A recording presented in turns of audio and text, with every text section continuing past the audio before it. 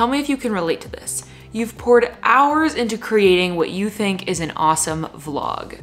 You've had a really cool experience, maybe you went on a really fun trip or just had a really productive day at work and you documented every moment. You've spent hours editing and you're finally ready to hit upload. Only once it's published, it's like crickets. A week later and oof, it's still only got 12 views.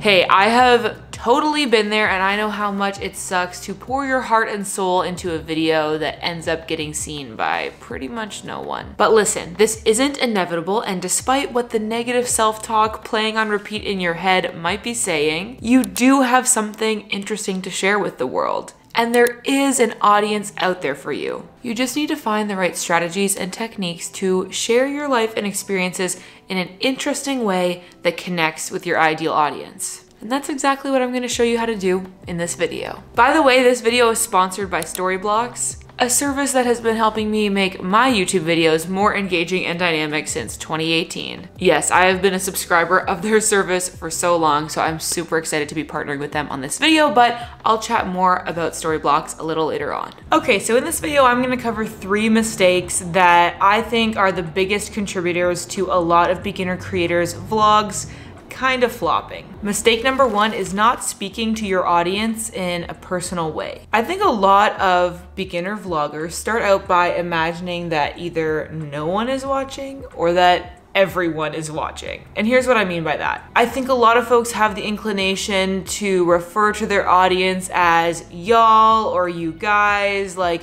just speaking to this generalized, vague group of people that are watching your videos but like they might not actually be watching your videos yet because you maybe just get like 12 views. And this kind of generic referral to the group at large can feel sort of impersonal and it can feel even at some points ingenuine if you happen to come across a video like this and like you can tell from the view and sub count like there isn't really a you guys just yet. But i understand why so many beginner vloggers do this because it feels like well isn't this what the big vloggers are doing? Like they would refer to their audience as y'all or even maybe like a cutesy fan name or something like that. Here's the thing.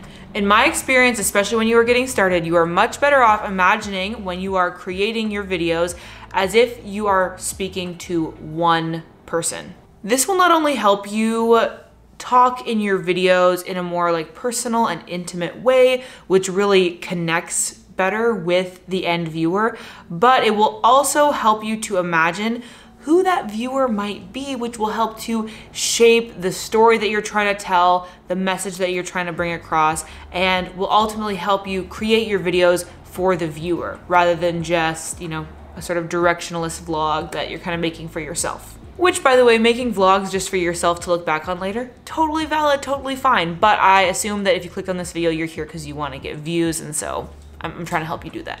Think about it. When somebody is watching your video, they are probably sitting there by themselves. I mean, maybe with like another person in their family or whatever, but most likely they're watching it solo. So when they're referred to as like a group of people, there's like this weird disconnect because it's like, well, I'm here by myself. so I recommend when you speak directly to your audience, say you instead of like y'all or you guys. And really, really try to keep in mind who that potential end viewer is because trust me, your vlogs are going to be more interesting, more engaging, and more purposeful when you think about who the ideal person to watch them at the end is. That's what will take you from just kind of creating this vague video of your day to having a sense of who you want to watch it and what you want them to get out of it and it's just gonna make your videos a lot more intentional and engaging. Mistake number two, always saying and then instead of but or therefore. Okay, this is the biggest thing that separates beginner newbie vloggers from successful experienced vloggers, and that is storytelling skills. Most vlog creators at the start fall into the trap of just simply presenting their day or their experience in a linear timeline. Instead of communicating the causation from one scene to the next and really expressing that rise and fall of action and bringing in the tension and the reveal and the payoff. I think one of the best shorthands for these big kind of intangible storytelling concepts is the but therefore rule, which was created by the creators of South Park, Matt Stone and Trey Parker. They did this really quick video for MTV back in the day where they explain how they approach telling a concise and engaging 20 minute episode. We can take these beats, which are basically the beats of your outline, and if the words and then belong between those beats, you're so one of the quickest ways to determine if your video is simply like a linear timeline of da da da da da da or if it's something that's interesting and grabs the viewer and keeps them engaged, is to ask yourself from one scene to the next, is your story essentially saying, this happened, and then this happened, and then this happened? Or is your story saying, this happened because this happened, therefore this happened? But this happened, therefore this happened. Okay, let me give you a practical example in like the lifestyle content niche because I know talking about it in this sort of like general way can be a little bit confusing. So let's talk about a day in the life vlog and how you might be able to apply the but therefore rule to that. Okay, so in option A, I can frame my day in the life as simply a laundry list of events or tasks that I went through. So this is the and then version, and it goes like this. I woke up and started my day. And then I checked my to-do list. And then I made a coffee. And then I did some work. And then I felt kind of anxious. And then I did some positive affirmations and got back to work. Snooze fest, right? Like if you're still watching the video, I'm impressed because that is just a list of what somebody did during their morning, right? kind of boring. Okay, but here's the but, therefore, because version. And hopefully you can see how I'm taking a regular, regular day and turning it into a story. This morning I woke up knowing that I had a massive to-do list to tackle today. But I was utterly exhausted. My list seemed totally insurmountable, but deadlines are deadlines and I needed to get it all done. Therefore, I made myself a coffee and I got down to work. Because I made myself a coffee, I was super productive with my work but all the caffeine made me really anxious. I was really starting to doubt myself. I didn't think I could complete my work for the day, but I also didn't think I was very good at my work in general, just total imposter syndrome moment. Therefore, I had to remind myself of my mantra plan your work and work your plan. Everything can be done if I make a plan and execute on it. So I reminded myself of my affirmations, shrugged off my imposter syndrome, and got back to work. So here you can hopefully see how you can take just the regular actions and tasks of your day and turn it into a story with rising and falling action and a little bit of a message at the end. I really think that you can always find the takeaways or the moral of the story or the whys in your everyday scenario if you think about them a little bit deeper. And I think that's what can really add some extra meaning to your videos and some purpose. It leaves the viewer with maybe some kind of encouragement or something to think about. And it gives them a reason to watch your video beyond just like, oh, what did Katie eat for breakfast today? Well, most people do not care about that. But if I'm able to take what I ate for breakfast or like my little morning routine and turn it into a positive message or an encouraging message or provide some kind of value to you above and beyond just here's what I did today, that's what's gonna make people want to watch your videos. And including that tension and release and the rise and fall of action throughout the story is what's gonna keep people watching once they click on it. So this is how you can really start making vlogs that not just the people in your everyday life want to watch, right? You know, my friends who know me might be interested in seeing my cutesy morning routine, but people on the internet who have no idea who I am aren't going to be that engaged with that. But if I'm able to provide something that is encouraging or inspiring or entertaining in some way, like that's going to be what makes other people want to watch my videos. And that's the foundation of actually growing a channel and an audience on YouTube. Mistake number three, telling and not showing.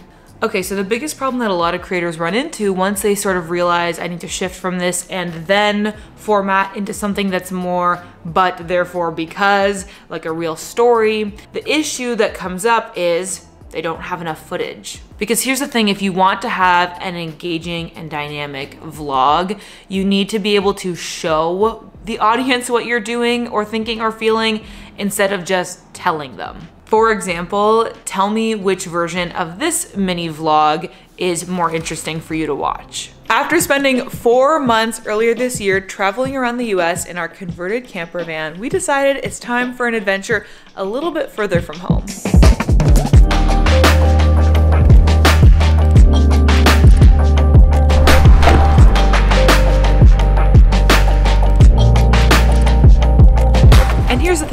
Kind of like traveling off the beaten path a little bit, so for this trip we're headed to a kind of less common part of Europe. So earlier this year, we were traveling around in our self converted van named Vanjie, but now we kind of feel like going on a trip somewhere different. So we're actually to fly to one of the least visited areas of Europe.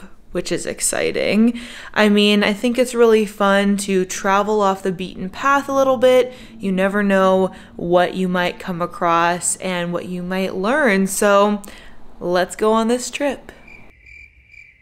Okay, so I think it is pretty obvious that the first version is way more compelling as a vlog. People have come to YouTube to see a video. You need to deliver on those visuals, otherwise it might as well just be like a blog post or a tweet. But if you've come to the editing stage and you've realized that you really don't have enough footage to show all of those aspects of your story, that is where the sponsor of today's video, Storyblocks, comes in. And boy, do I depend on Storyblocks a lot in those tight circumstances where I'm like, dang, I need to show this somehow, but I do not have a clip for it. Okay, so if you're not familiar, Storyblocks is a subscription-based stock footage library. I've personally been using it for years to find the right visuals to tell a great story in my vlogs. With your Storyblocks subscription, you get access to over a million video clips, sound effects, music, animation templates, and more. If you need something to represent what you're telling about in your story, all you have to do is go to Storyblocks,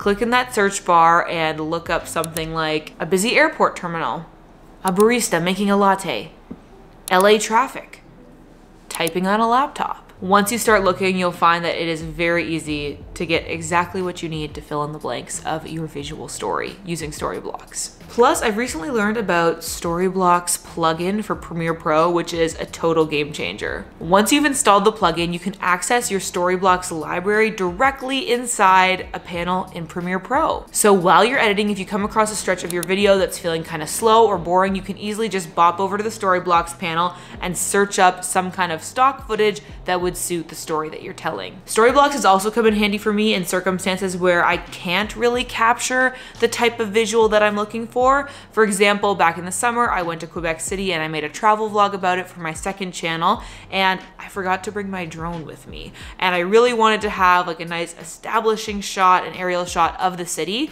So when I got home and I was editing my video, I just popped over to Storyblocks and searched up like Quebec City aerial shot and I found exactly what I needed. So if you want to up level your vlogs and make them more visually interesting and dynamic, even when you don't have the chance or you forgot to shoot your own footage, then definitely sign up for Storyblocks using the link in my description. Once you pay your monthly or annual fee, you'll have access to all the stock footage that you need without complicated a la carte or like credit systems you pay your subscription and then you can download exactly what you need. You don't have to worry about it. So try out Storyblocks for yourself. Trust me, it is gonna be a game changer for your vlogs. Check it out at the link in the description. Truly, at the end of the day, if you want to have a successful vlog, you need to have good visuals to go with it.